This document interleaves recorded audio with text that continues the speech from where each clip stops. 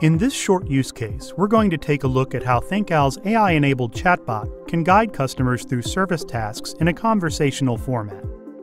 In this example, our customer, Peter, is scheduling a freight pickup with our demonstration logistics company, MyTransport. The process begins with Peter entering the most basic of contact information and requesting a chat. The virtual agent then identifies the nature of Peter's inquiry and guides him through the process of initiating the request step by step.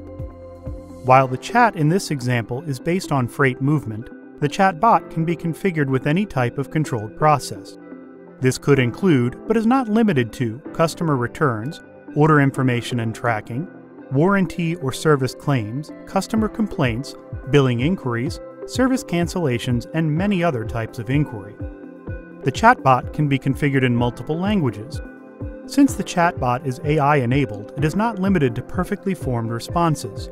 Minor misspellings, typos, varying punctuation, unusual grammar, and other natural variations can all be accommodated.